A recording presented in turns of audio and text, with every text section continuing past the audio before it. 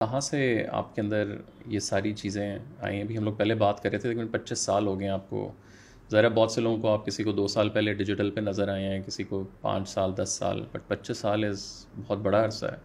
और देखें, मैं तो काम कर रहा हूँ, दो हज़ार तीन चार से पहले हम लोग हुसैनी ब्लड बैंक जो यहाँ का सबसे बड़ा ब्लड बैंक है। उसमें हमारा अकाउंट था हम वहाँ पर खून जमा करते थे मुख्तलिफ़ जामियात में कैंप लगाते थे मुख्तलिफ़ कंपनीज़ में मुख्तलिफ़ फैक्ट्रीज़ में। और फिर जो अंदरून सिंध से मरीज़ आते थे यहाँ पर अपना इलाज कराने उनको खून चाहिए होता था तो वो ड्रग यूज़र से खून ले रहे होते थे। तो हम उनको मना करते थे ये हमसे कोपन लें और जाके खून ले लें आप हुसैनी से। हम्म।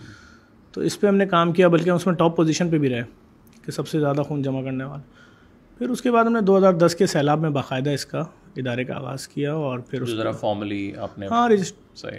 पूरा रजिस्टर्ड कराया और फिर वो ये वो टाइम था जब कराची में रोज़ आना ज़बान के नाम पर हम्म। तकरीबन आठ लोग और मज़हब और फ़िरक़े के नाम पे चार से पाँच लोग एवरेज मारे जा रहे थे हम्म।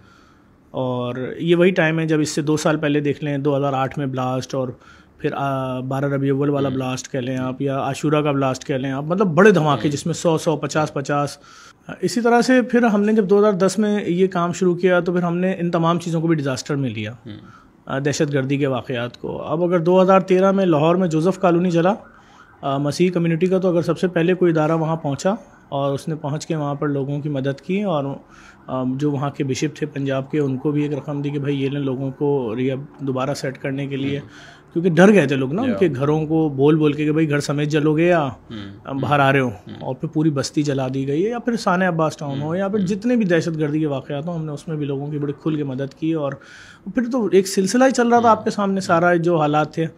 एंबुलेंस प्रोजेक्ट लॉन्च किया फिर हमने उसके बाद मुख्तलिफ़ प्रोजेक्ट फिर हमने 2015 में बाज़ार मेहरबान लगाया और हमने उसमें करोड़ों रुपए का राशन लोगों को एक्सपो सेंटर में किया जिस तरह इंटरनेशनल एग्जीबिशंस लगती हैं फ्री में और ये सब चीज़ें फिर सिलसिला चलता रहा। फिर सफ़ाई मुहिम जुनेद जमशेद साहब मरूम के साथ मिलकर अब होगा साफ़ कराची बहुत बड़ी कैंपेन थी।